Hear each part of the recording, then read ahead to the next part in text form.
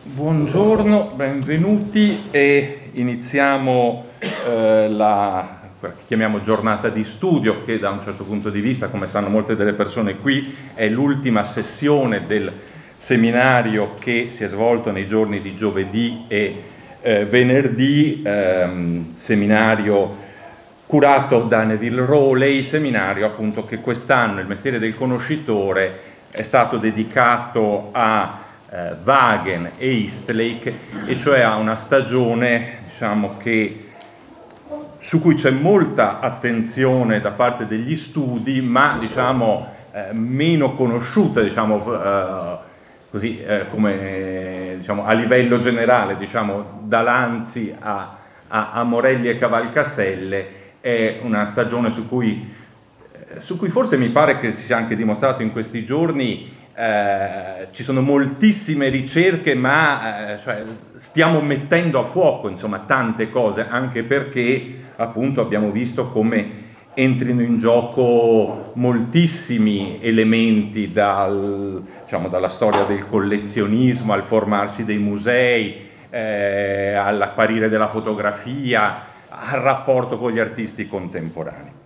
La giornata di oggi, tanto devo dire, Purtroppo abbiamo un'assenza, noi prevedevamo anche oggi l'intervento di Mauro Natale, ma Mauro Natale ha eh, un'indisposizione a, diciamo che si possa dire, una forma molto leggera di Covid e per questa ragione non si può spostare, è a casa e quindi non può venire qui, quindi non avremo Mauro Natale, ma avremo so, soltanto, ma non soltanto, eh, Donata Levi nei Virroli. E, eh, cominciamo con Donata Levi, io sono molto felice molto onorato che Donata Levi sia qui con noi, eh, tutti voi la conoscete, credo che eh, diciamo, è proprio stata un'iniziatrice di eh, questi studi, cioè, penso dal, dal, libro su Cavalcaselle, eh, fondamentale libro Inaudi su Cavalcaselle della fine degli anni Ottanta, ma poi diciamo, ha continuato con ricerche proprio su, su questi personaggi, da, da, appunto da Cavalcaselle stesso a Raskin, eh, le grandi mostre, la storia del mercato, il passaggio dall'incisione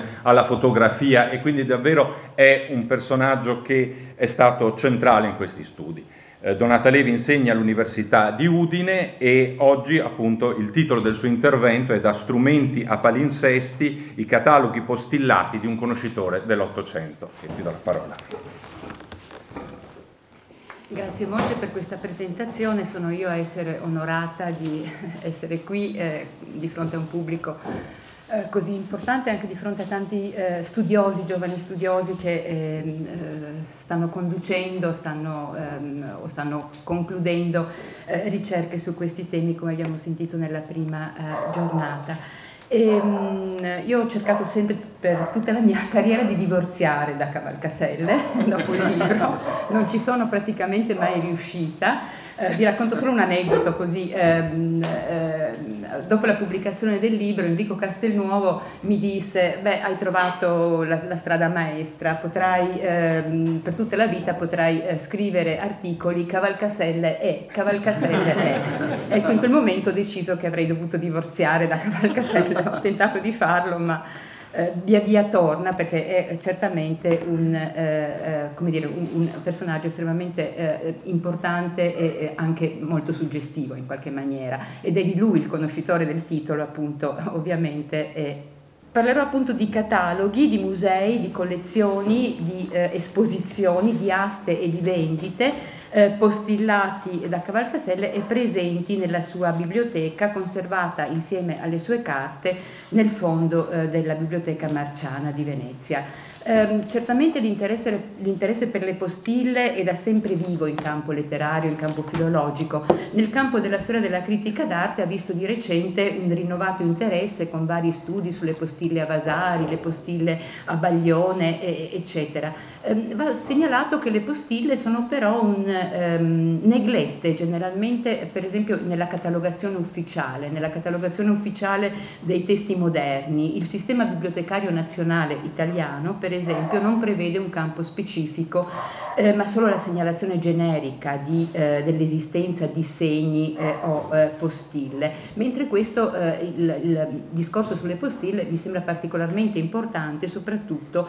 per le biblioteche d'autore, tant'è che quando da un paio d'anni abbiamo cominciato a ehm, catalogare ehm, tramite eh, SBN la biblioteca eh, di eh, Paola Barocchi, eh, conservata appunto presso la Fondazione Memofonte, ehm, i cui volumi sono ricchi di postille e dediche ma anche di materiali eh, vari, biglietti, appunti, eh, lettere, pubblicità editoriali abbiamo pensato mm, di creare uno strumento ad hoc in modo da schedare queste informazioni fondamentali per ricostruire la rete dei rapporti culturali e ehm, personali, ma anche per segnalare appunto la presenza di eh, commenti eh, e di, postili, di commenti a margine e di eh, annotazioni. Sarebbe opportuno poter fare una cosa del genere anche per le postille di, dei testi di Cavalcaselle. Postille, le postille in generale per il loro carattere di espressione eh, immediata, privata, informale, si configurano come uno spazio per una più libera e disinvolta sperimentazione di soluzioni e di proposte.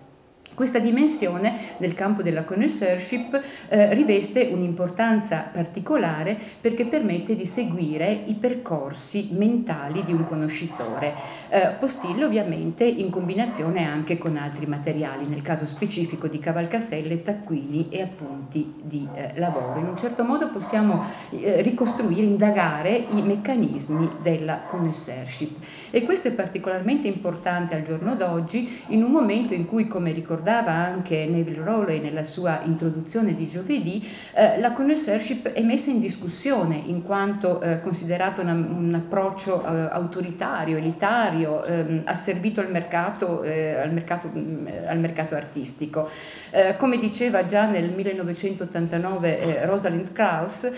authorship is dear to art history for within the value system of our discipline authorship brings with it a host of privileges. E in questo contesto, quindi così eh, polemico anche nei, a volte, o che è stato perlomeno negli anni passati così polemico nei confronti della uh, connoisseurship, ricostruire filologicamente le modalità di questo esercizio di riconoscimento della authorship uh, diventa uh, essenziale. Eh, le, le, postille di Cavalcaselle ce ne danno eh, ai cataloghi, ai cataloghi appunto di mostre, di eh, collezioni, di eh, vendite, ce ne danno eh, un'occasione e sono un caso particolare ma particolarmente eloquente e credo piuttosto raro. Io so solo delle postille ai testi di Morelli ehm, che conosco solo parzialmente, che anche, ehm, la, la, biblioteca di Morelli è suddivisa fra l'Accademia di, di Brera e la biblioteca civica Repubblica di Bergamo e ehm, ci sono stati degli assaggi, diciamo così, negli anni passati, nell'87 in occasione del um, convegno, famoso convegno su Morelli, di cui ho visto gli atti anche sul bancone all'entrata, ehm, ehm, appunto ehm, ci sono stati degli affondi sui cataloghi di eh, Firenze e di Dresda del 1867, ehm, nel 2004 ehm, Marta Fumagalli eh, ha, ha lavorato sul catalogo, sulle postille Mille di Morelli al catalogo eh, di eh, John Charles Robinson della collezione di disegni di Malcolm, eh, però appunto mh, eh, assaggi eh, come dire, abbastanza limitati. E la particolarità delle postille di Cavalcaselle che coprono tutta la gamma, dai semplici notabilia alle sottolineature e mh, ad altre tracce di lettura che sono una sorta di postille mute, fino a, bra- a brani più descrittivi ed elaborati, la particolarità è che spesso si tratta appunto di postille figurate, cioè di schizzi sui margini, eh, sulle camicie, sulle copertine, sui testi stessi, come vedete anche in questo caso. Vi mostrerò eh, degli esempi al riguardo, ma ehm, vorrei ehm, eh, notare anche, e anticipo un po' la conclusione del mio intervento, come riflettere sul fenomeno del, delle postille eh, offra anche un'occasione per misurare i modi in cui nel corso dell'Ottocento, cioè in una fase di affermazione e di consolidamento della disciplina storico-artistica, Gli spazi di riflessione privati si riversano in una dimensione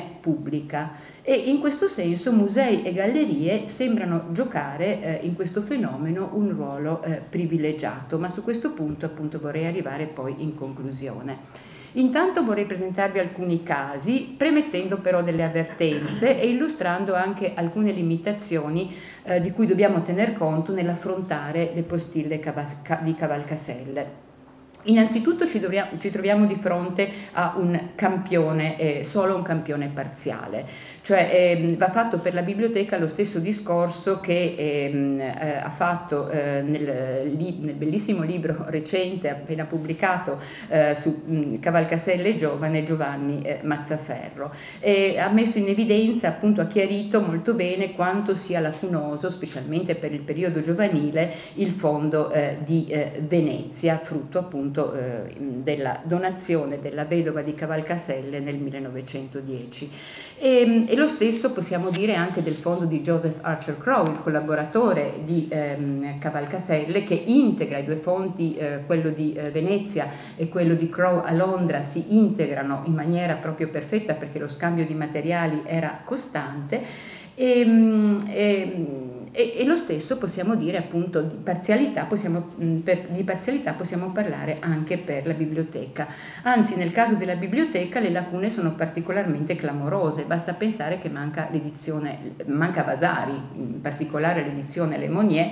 che ehm, ehm, anche prima dell'incarico eh, che ehm, Cavalcaselle ricevette nel 1857 da parte proprio di Eastlake, di Layard e di eh, Murray ehm, per una nuova edizione vasariana, ehm, era comunque stato anche prima, di, prima del 57 un punto di riferimento eh, costante. Ehm, I riferimenti al testo di Vasari sono molto precisi, mm, bibliograficamente molto precisi, anche cata- nelle postille eh, ai, cat- mh, mm, ai, cataloghi dei musei di eh, Berlino, di eh, Londra e di eh, Parigi, che eh, sono appunto degli anni antecedenti al 1857. E, ehm, e, va aggiunto anche che la presenza, tra l'altro, di questi eh, riferimenti bibliografici così puntuali ci porta anche eh, ad aprire un attimo una parentesi perché chiaramente il, ehm, ci dice di una strumentalità del catalogo, del catalogo, di mos- del catalogo di museo, del catalogo di mostra che va al di là della immediata annotazione sul posto. Evidentemente c'è anche, cioè, sono i numeri di pagina, i volumi, quindi c'è,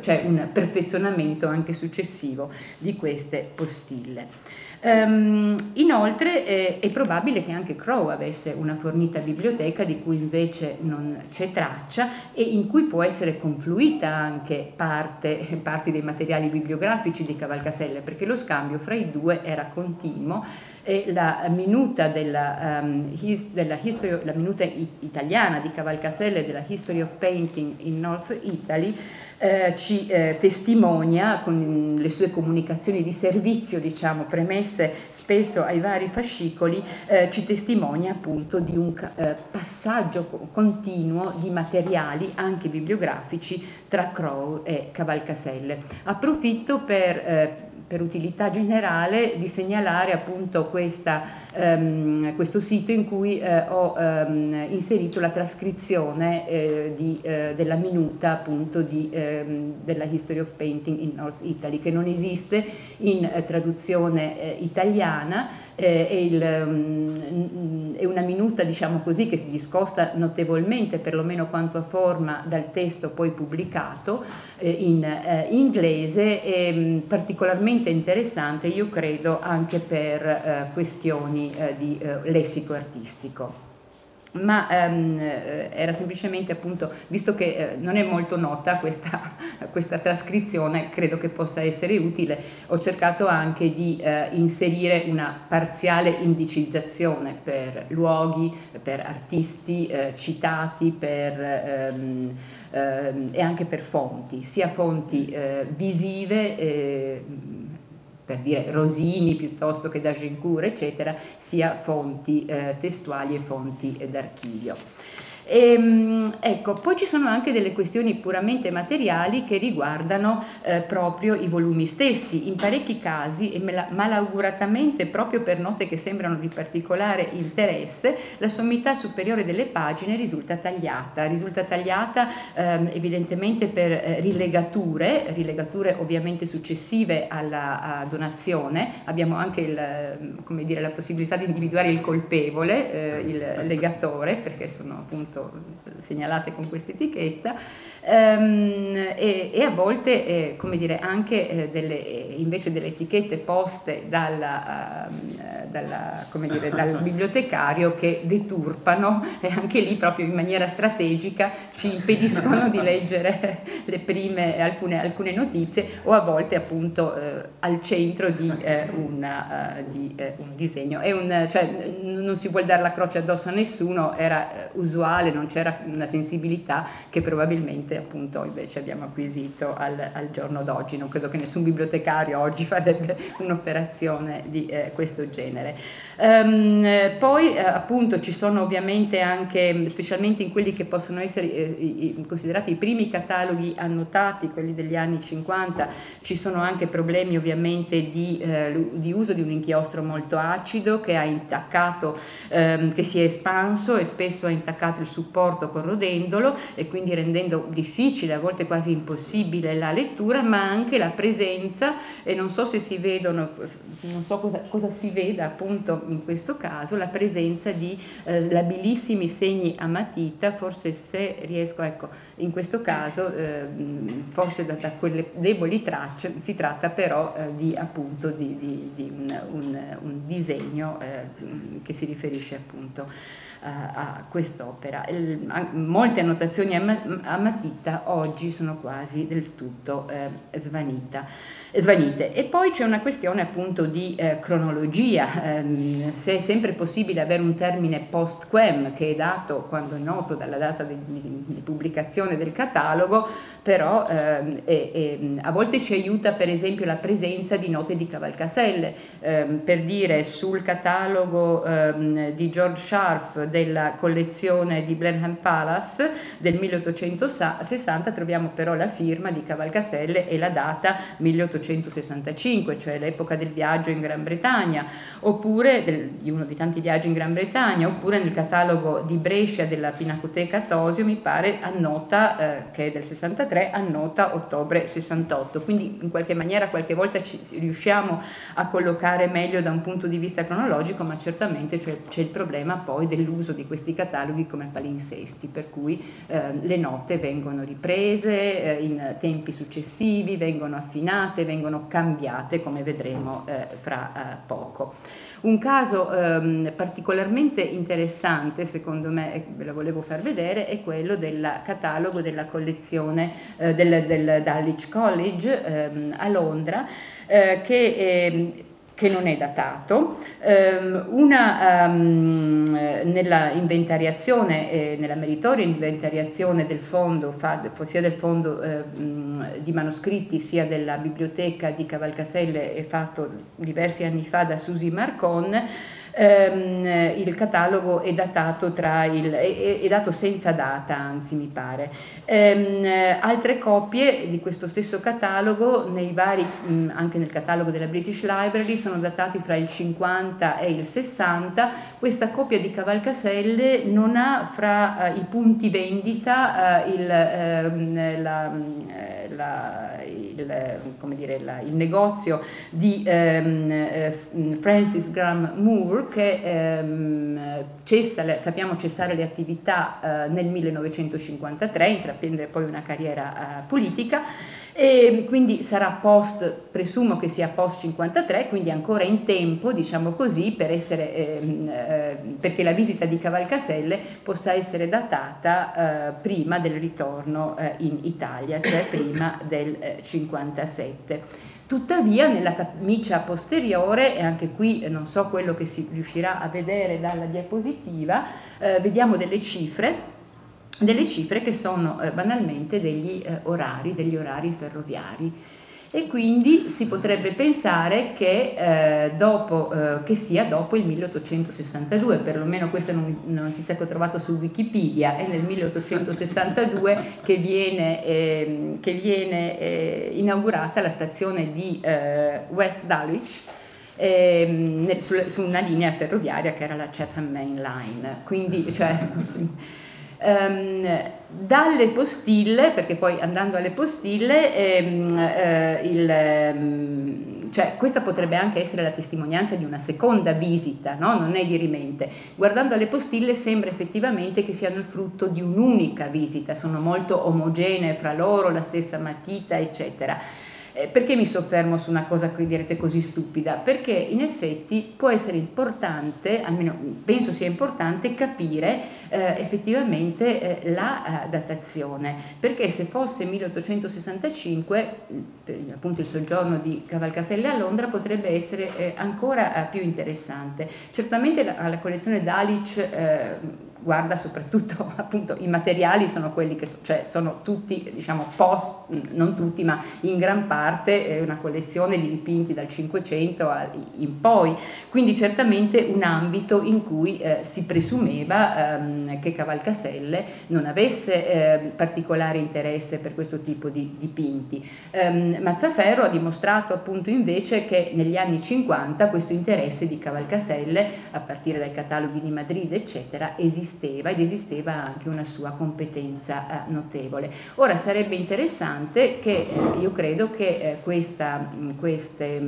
questo interesse appunto per la pittura chiamiamola così, post-rinascimentale, potesse, eh, potesse, essere attestato anche in un momento in cui Cavalcaselle è concentrato ehm, sulla eh, preparazione del terzo volume della History of Painting in Italy e sulla preparazione dei volumi successivi, che sono quelli sulla pittura settentrionale, quindi proprio orientato, focalizzato sulla pittura, sulle produzioni artistiche fino all'inizio del Cinquecento. Quindi sarebbe un'ulteriore riprova di un interesse particolarmente forte, non solo di interesse particolarmente forte, ma anche di una competenza notevole, perché queste, eh, ho, ho, ho, messo 4-5 casi così un po' eh, presi, eh, diciamo, ehm,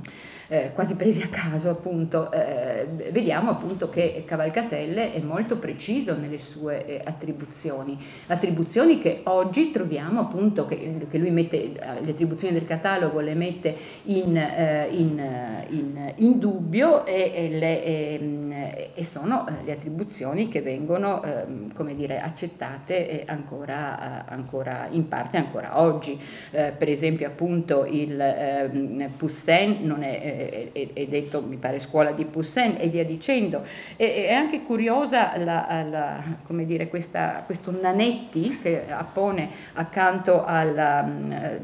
al, a un dipinto eh, che io credo venga, cioè, venga attribuito a Leroy solo per un, eh, un refuso. Ehm, la,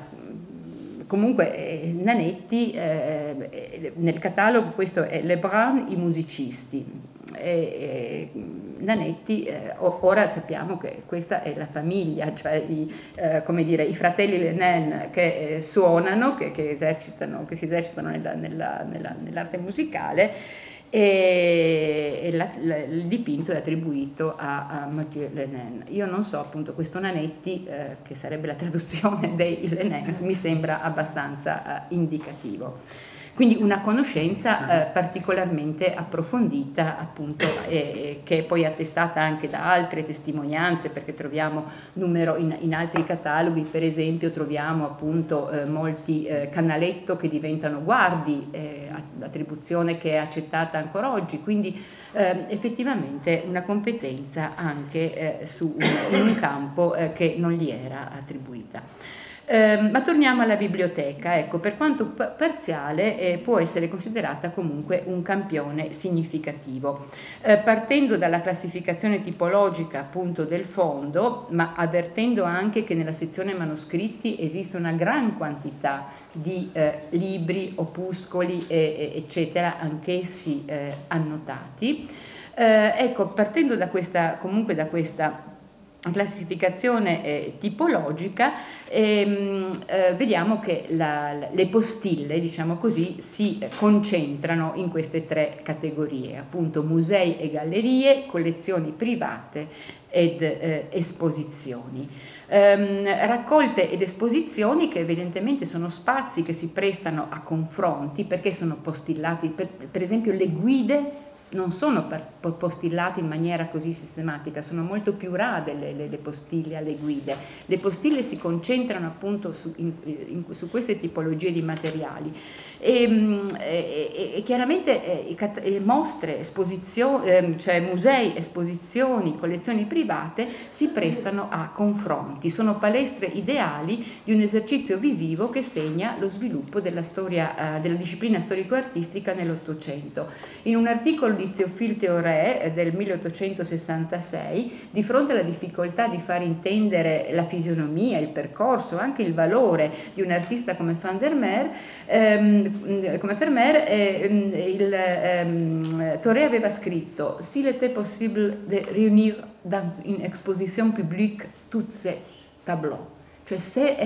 se fosse possibile riunire in una uh, esposizione unica tutti i quadri di Vermeer, allora il suo valore ver- verrebbe fuori eh, con eh, evidenza. Cioè il conoscitore aveva bisogno di vedere eh, riunite quante più opere possibili di lì a poco la fotografia avrebbe cambiato un po', diciamo così, il panorama complessivo.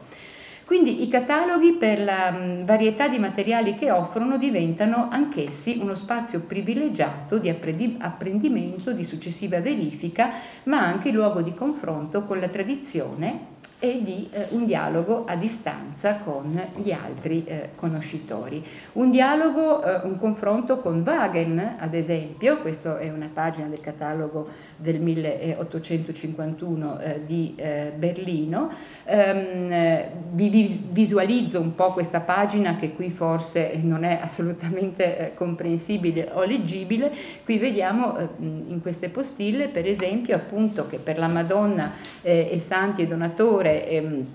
eh, vi è eh, eh attribuita a Vincenzo Catena da Wagen, vi è all'inizio un minimo dubbio, eh, vi, eh, vi, è anche una, seguito da un'ipotesi previtali, poi eh, rigettata, e quindi nel, nel, 1863, invece in questo caso siamo fortunati, uno dei rari casi in cui la postilla è datata, un sì di accettazione della,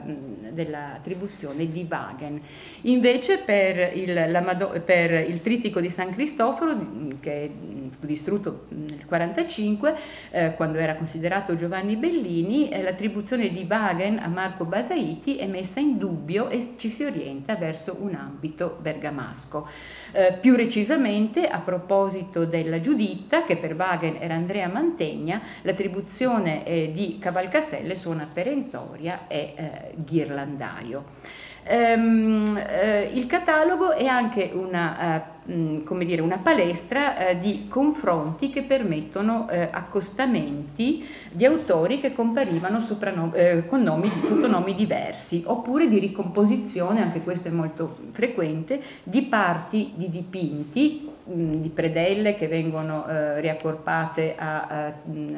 a opere da, da, alle tavole principali, di pinnacoli che vengono eh, ricostruiti, eccetera. Un caso è quello eh, di eh, Lorenzetti, ehm, eh, dove possiamo considerare alcune opere attribuite sempre nel catalogo di Berlino appunto a Pietro Lorenzetti. Si tratta della Madonna eh, in trono, ora attribuita a Jacopo di Casentino, numero 1091, delle storie della vita di Cristo, numero 1092, ora attribuito al maestro di San Martino alla Palma. Cavalcaselle scrive ehm, eh, accanto a, mette in dubbio eh, Pietro Lorenzetti, ci scrive appunto un punto di domanda eh, e poi nel margine superiore della pagina aggiunge qualche diversità il 1091 dal 1092. Il 1092 è più bello, cioè il, mm, quello che ora il maestro di San Martino alla Palma è più bello, non importa il più bello, comunque distingue, distingue appunto i due eh, artisti e poi aggiunge 1092 1091 Scuola come 1096, che è un altro eh, dipinto appunto che era eh, nel catalogo e attribuito alla scuola senese, genericamente Schule von Siena, e che oggi anch'esso è attribuito a Jacopo di Casentino. Quindi ricomposizione, distinzione, anche se Cavalcaselle non è in grado di fare un'attribuzione sicura, avverte analogie e differenze, ma per esempio nella New History of Painting si limiterà a notare che il 1091, il 1092 e aggiunge anche il 1093, che sono poi gli sportelli laterali del 1091, sono not in the spirit of Pietro's works.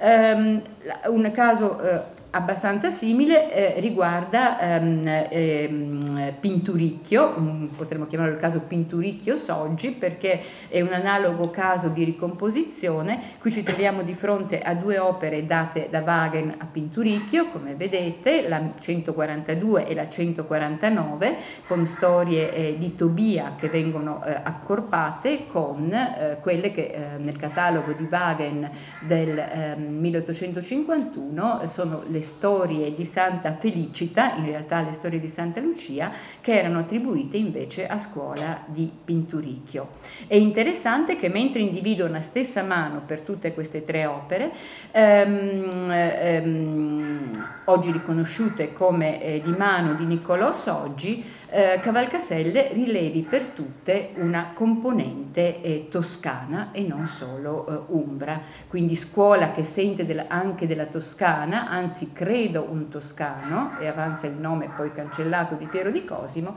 e scuola che sente del toscano per il numero 142. Analogo discorso, ma non voglio magari stare come dire, non voglio attardarmi troppo, per eh, il discorso ghirlandaio Sebastiano Mainardi. Anche qui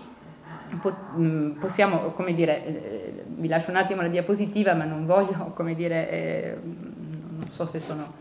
in ritardo, non ho idea.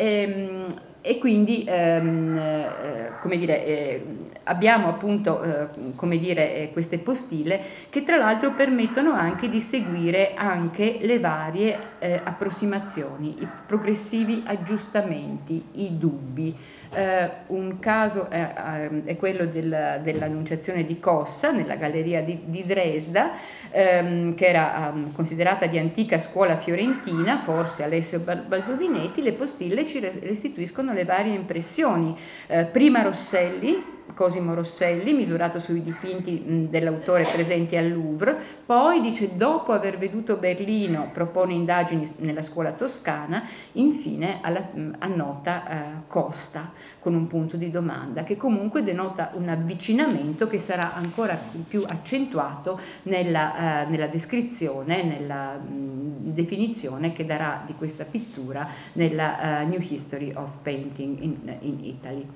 Eh, soprattutto in molti casi, in maniera più eloquente, le postille ci dicono del modo di ragionare di Cavalcaselle, del modo anche in cui guarda un dipinto. Già alcuni casi li ha presentati eh, Giovanni Mazzaferro nel suo libro, eh, che ho, tra l'altro ha opportunamente ehm, sottolineato la totale indispensabile integrazione tra disegni, da, tra postille, diciamo, annotazioni sui libri e altri materiali, taccuini e fogli sciolti. Ecco, nel catalogo di eh, VO, il famoso catalogo del 1849, quello che sarà oggetto eh, l'anno dopo delle eh, critiche di ehm, Mündler, di Otto Mündler nel suo essere di un'analisi critique, ehm, ecco, mh, vediamo appunto una lettura eh, di, eh, estremamente eh, come dire, precisa, ehm, sia eh, visiva, come vedete dai dettagli eh, in basso, sia eh, col, con, con, le parole, ehm, del modo di ehm, stendere i, i colori eh, di, da parte di, in questo caso di eh, Taddeo eh, di eh, Bartolo. Non sto a leggere tutta la, perché penso, però eh, vi rendete conto appunto ehm, immediatamente dell'attenzione con cui ehm, ehm,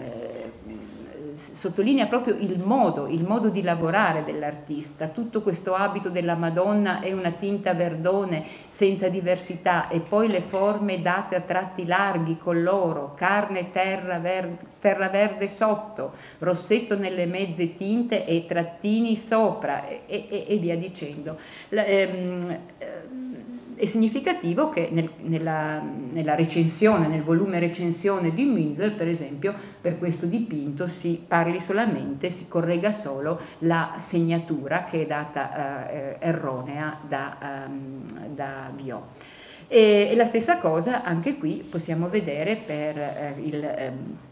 per questo dipinto del Gozzoli, il trionfo di San Tommaso eh, d'Aquino, dove eh, ugualmente troviamo lo stesso andamento. Così nell'abito rosso si è servito per lumi del fondo bianco ed apposte le mezze tinte con l'H a tratti e più forte nelle ombre, eccetera. In questo caso non abbiamo l'aiuto dell'appunto grafico come avevamo eh, in precedenza, ma ugualmente appunto un'analisi estremamente eh, puntuale del modo di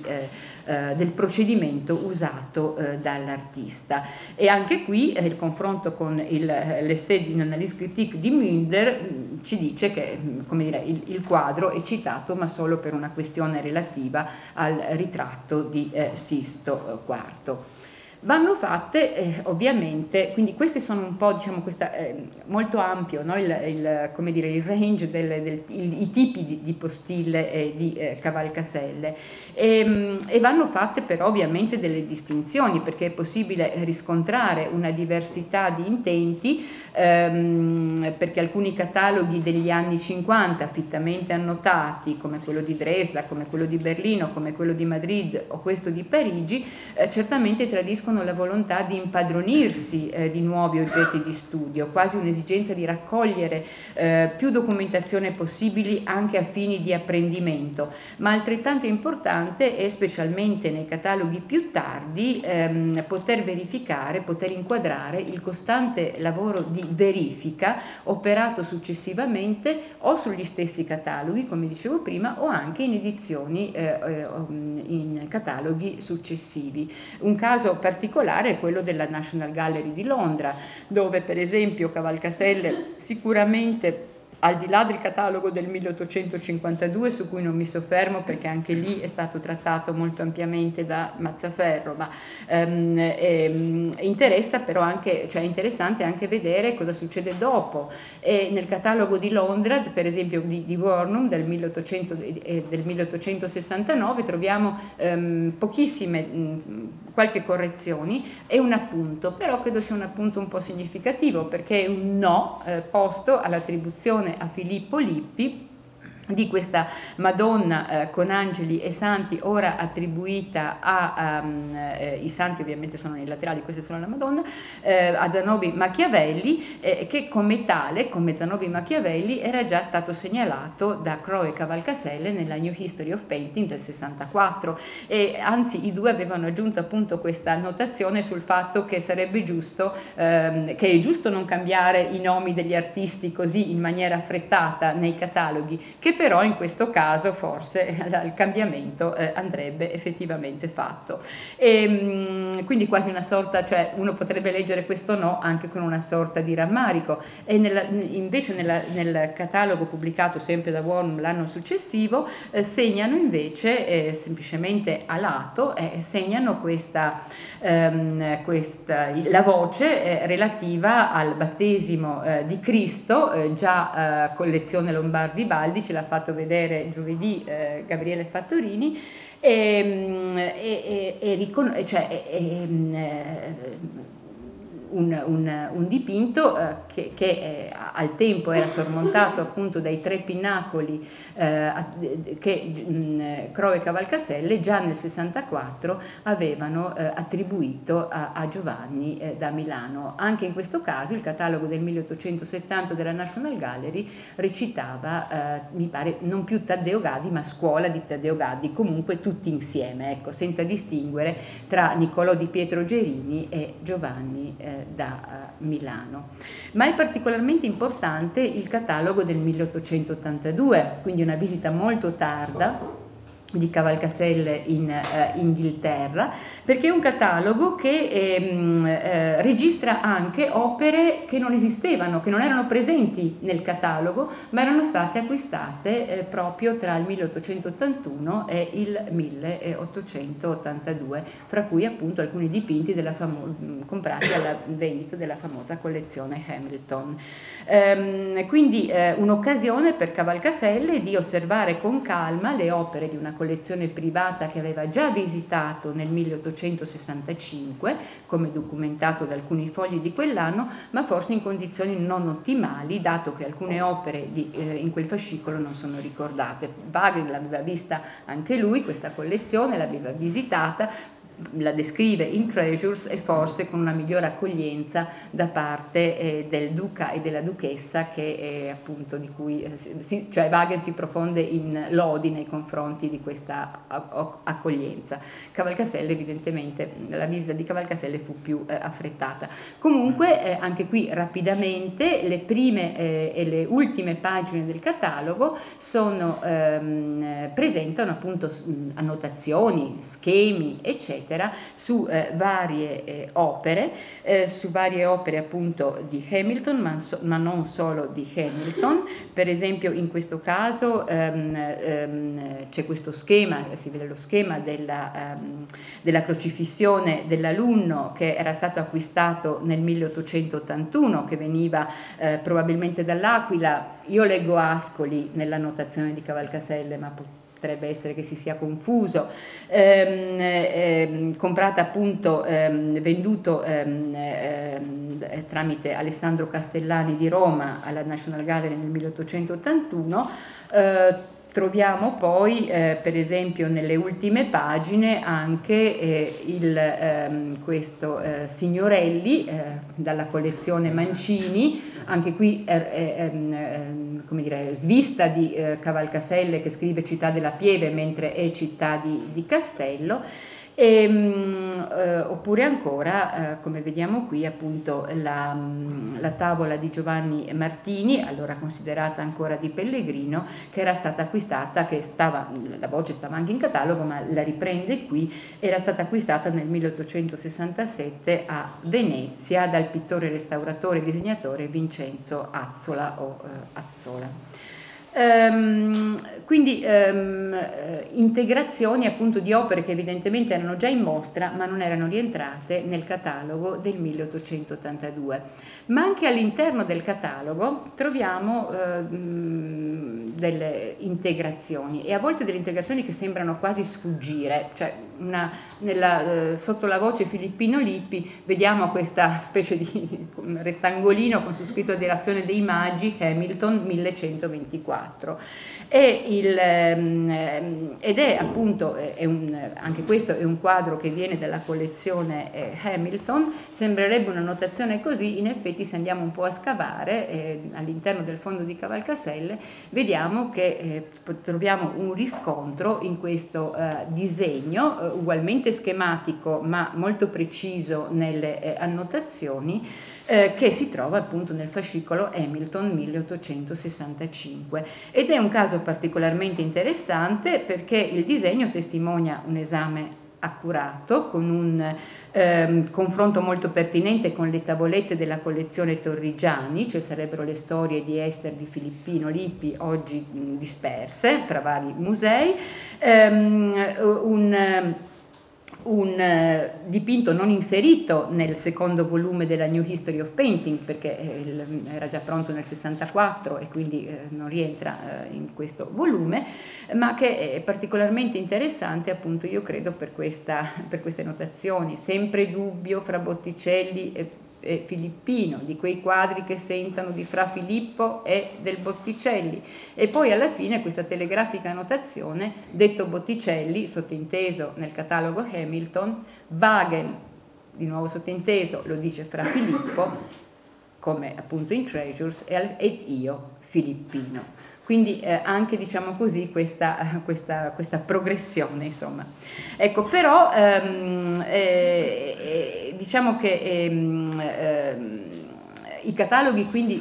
volevo dire sono eh, un, uno strumento di continuo aggiornamento e probabilmente di verifica in vista della pubblicazione dell'edizione italiana. Um, però um, c'è anche un altro dato che ci dicono un po' queste, queste postille, io credo, cioè um, si tratta in gran parte, l'abbiamo visto prima, di quadri che erano usciti dall'Italia dopo l'unità. E si tratta di, di, di, di, quadri appunto che escono negli anni, fine anni 70 e inizio eh, anni 80. Ehm, ci si può chiedere che cosa, mm, come dire, Cavalcaselle funzionario eh, del, ormai dello Stato italiano appunto potesse, non c'è nessuna notazione ecco, su questo fatto, sul fatto che questi dipinti in qualche maniera fossero usciti, fossero stati tolti al patrimonio eh, artistico italiano. Una sola notazione, ma appunto eh, come dire, ehm, potrebbe, eh, come dire, si potrebbe segnalare ed è quella riferita appunto a questa porzione di affresco dal, tab dal tabernacolo Carne Secchi eh, in cui eh, Cavalcaselle scrive semplicemente veduto a Firenze mm, ma era un dipinto che era uscito eh, prima, era uscito nel 1859 ed era stato appunto acquistato da Charles Locke Eastlake. Ecco, eh, quindi ehm, certamente eh, quindi i cataloghi sono strumento di aggiornamento, di verifica, ehm, eh, di verifiche successive, succede anche per ehm, i dipinti per esempio che arrivano al Louvre dalla collezione Campana e che Cavalcaselle rivede al Louvre e segnala nel catalogo eh, del Louvre eh, successivo, ehm, il, ca il, catalogo di Reisé, ma che rimandano poi alle postille che aveva posto sul catalogo Campana nel 1859 perché aveva visto la collezione proprio per conto di Eastlake eh, in eh, quell'anno. Ehm, quindi come dire, è un gioco insomma abbastanza, diciamo, è una mappa abbastanza uh, complicata. Ehm, eh, ho cercato di mostrare un po' la pluralità eh, di registri e di funzioni delle postille, ma ehm, possiamo chiederci, esiste un genere postille? Eh, io sarei incline a dire di no eh, nel senso che sono eh, una, una delle modalità eh, di una scrittura privata, quindi potenzialmente più libera, più libera nelle espressioni, più anche di una scrittura che, privata che può essere anche incline ad assumere toni di aperta contestazione, anche se in Cavalcaselle manca qualsiasi tipo di invettiva nei confronti, c'è solo un pazzo, un pazzo che viene attribuito all'autore di ehm, eh, al, eh, al, giudizio, anzi, che l'autore del catalogo della Pinacoteca di Ferrara ehm, eh, fa sulla visitazione di Domenico Panetti. Dice quadro che non invidia ad uno dei più belli di Perugino. Ecco lì Cavalcaselle scrive pazzo. Qualche volta scrive orrore, ma è più per il distacco diciamo, del nome proposto e del, per esempio mi pare che scriva um, per un, cioè una cosa attribuita a Giotto e che invece adesso è di scuola romagnola fra, dall'inizio del Trecento, insomma eh, quando ci sono proprio delle, delle, degli svarioni terribili, ma in generale è molto misurato. Quello che volevo dire però è che eh, mi sembra un dato di fatto che proprio in questo periodo del secondo Ottocento, e qui arrivo alla conclusione, la postilla deborda dalla sua sfera privata. Eh, ed è un po' la stessa vicenda che mi pare di eh, poter ricostruire per quanto riguarda i taccuini di viaggio. Eh, quando negli anni 30 Passavant prima eh, pubblica la sua Kunstreise e nel 1935 e Wagen i Kunstwerk und Künstler che preludono poi alla successiva eh, dire, edizione inglese eh, tra il 1837 e il 1839, ci fu chi criticò eh, questi studiosi perché eh, accusandoli di aver svuotato sulla testa del pubblico, o usano proprio questa espressione, ehm, ehm l'ammasso informe delle loro note di lavoro. E, ehm, ma eh, in effetti il famoso, mm, il famoso eh, essay di Annalise Critique che abbiamo citato prima, il volume appunto recensione di Mindler al catalogo del 1840 di V.O., eh, che cos'è se non la messa in pubblico di eh, una serie di sferzanti postille? Ehm, anche da un punto di vista tipografico proprio. Eh, in piccolo viene riportato il testo di, eh, di O e, eh, e, poi appunto la, eh, dire, la dimostranza invece di, eh, di Müller. E allora io credo che dovremmo anche farci delle domande sulla pubblicizzazione, sulla, mm, su, sulle ragioni di pubblicizzazione di questa modalità di scrittura privata in una fase in cui la disciplina, come si è detto, si stava assestando e dovremmo ehm, farci anche delle domande su come in questi anni stia cambiando il ruolo stesso della connoisseurship. Eh, in quanto analisi visiva e materiale ehm, era rimasta un po' mh, fin dai primissimi anni dell'Ottocento un po' dietro le quinte del discorso ufficiale. Um, io faccio sempre l'esempio con il caso di Luigi Lanzi, eh, accuratissimo annotatore nei suoi taccuini di viaggio delle caratteristiche peculiari di ciascun artista e poi queste note, quando si mette a scrivere la sua storia pittorica, ehm, di queste note non solo fa un uso eh, più che parsimonioso, anzi rarefatto, ma eh, lascia trasparire solo assai saltuariamente le sue competenze di eh, conoscitore. Invece dalla metà dell'Ottocento in poi, in questa, anche in questa congiuntura fra politica museale ed esigenze di mercato, le specifiche qualità di analisi visiva diventano elemento essenziale e connotante la specificità eh, della, eh, di una disciplina che si avviava prima in Germania e poi in Francia e più tardi in Italia a diventare disciplina universitaria, ad acquisire uno statuto eh, diverso. Musei e gallerie, comprese le esposizioni temporanee che via via in questi anni si intensificano e che vedono Cavalcaselle come visitatore attento, ma anche alcune vendite importanti, si dimostrano appunto delle vere e proprie palestre per gli esercizi eh, attributivi in cui cresce e si affina la pratica della connoisseurship. Um, diceva, eh,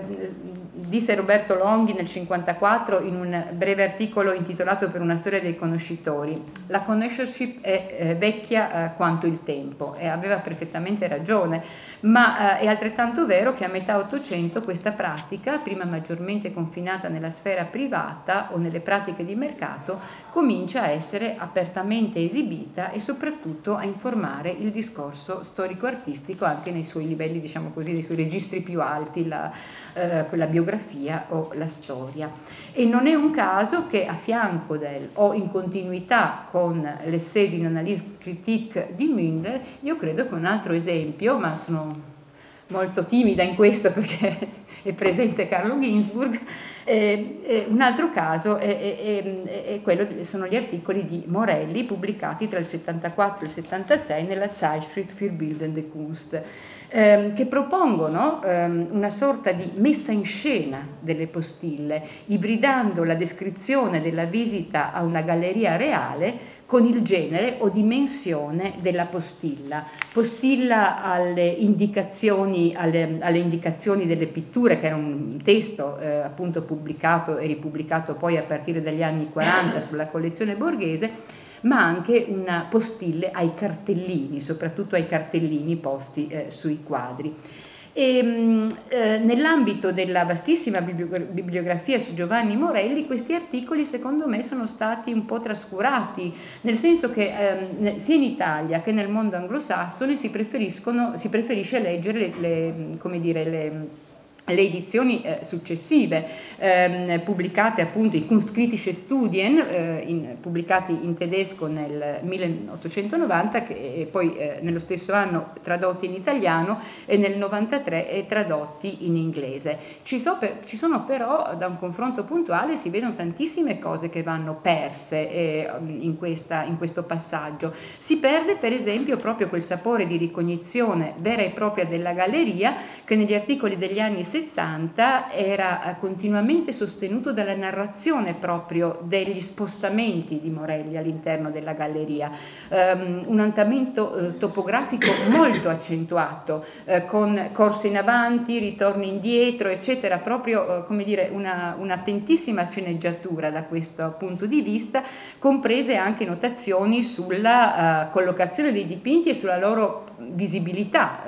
dipinti che si potevano vedere meglio, dipinti che erano sono appesi troppo eh, in alto, eccetera. E va perso anche, io credo, qui eh, nel eh, passaggio dagli articoli del 74-76 alla eh, redazione successiva, nei, alla riproposta successiva nei Kunstkritische eh, Studien, eh, va persa anche un atteggiamento decisamente più conciliante che Morelli dimostra nei confronti di Crowe e di Cavalcaselle, per esempio, non tanto di Wagen di... Ehm, ma, ma o di Müller, ma soprattutto nel, nei,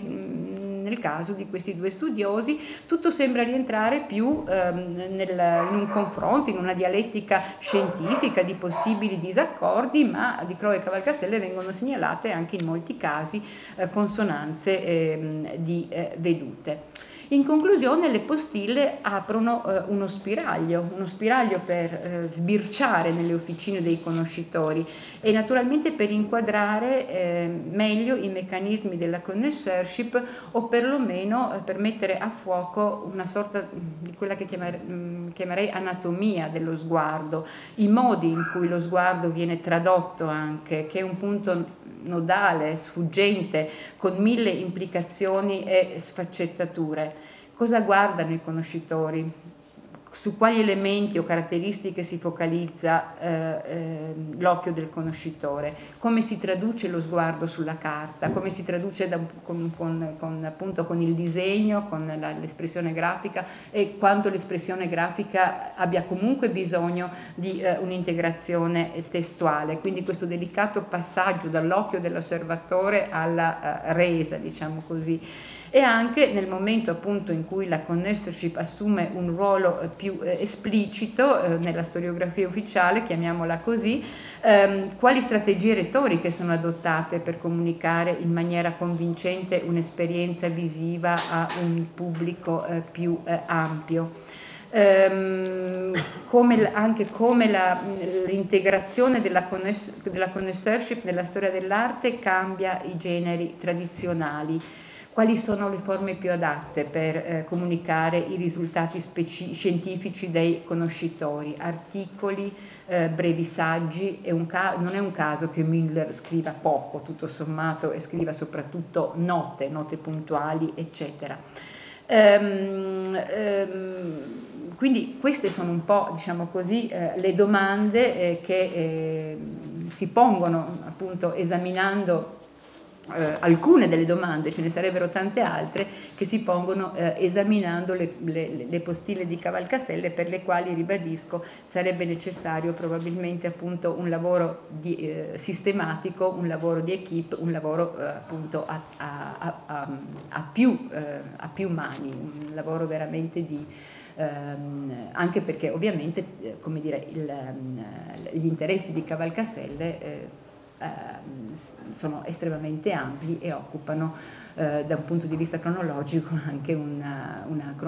occupano una cronologia eh, molto eh, vasta.